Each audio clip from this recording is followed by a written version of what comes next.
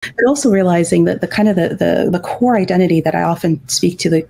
you know the girls that I mentor um, and those who mentor the girls, we have a mentorship program, is Allah Subhanahu wa Taala is with you. Like that, God is with you, and um, if this is a, a requirement of your faith, because God has has put it there, then He's never going to put something or um, make enforce something that actually isn't the best for you. And so it's almost like a cognitive shift that needs to happen,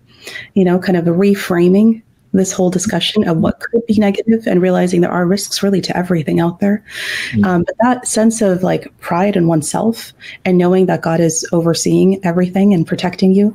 um, as you are careful in protecting yourself, of course, but that God is there with you um, is powerful. And I find that so many young girls kind of um,